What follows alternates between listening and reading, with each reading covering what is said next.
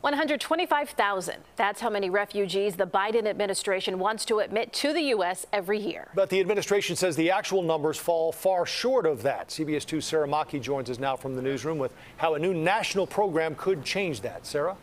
It's called the Welcome Corps, and the State Department, they launched it today. It's a pilot program giving private U.S. citizens a way to sponsor refugees, but is it enough? Well, we asked some people working in that field.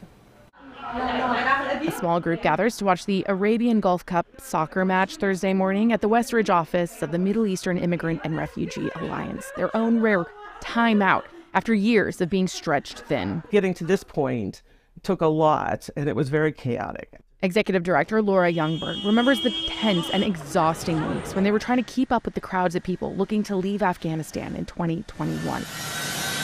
That's why she signed a letter of support when word of a new program came into her inbox. Yeah, literally at 10:42 a.m. That's when I got the email. The U.S. State Department launching the Welcome Corps. During the first pilot year, the goal is to mobilize 10,000 Americans to step forward as private sponsors and help resettle at least 5,000 refugees. You need groups of people who are really united in the mission. Thanh Tan's group, Viets for Afghans, sponsored 59 refugees as part of a pilot for the Welcome Corps.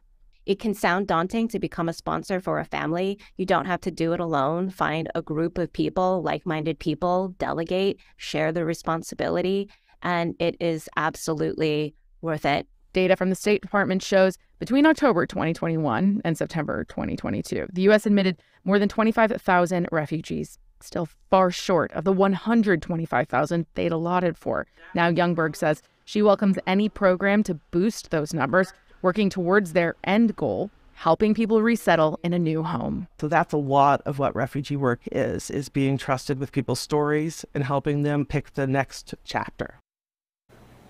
The Welcome Corps does come with a cost. Sponsors are expected to raise about $2,300 for a refugee's initial resettlement. The State Department is already taking applications on their Welcome Corps website. Live in the newsroom tonight, Sara Machi, CBS 2 News. All right, Sara, thank you.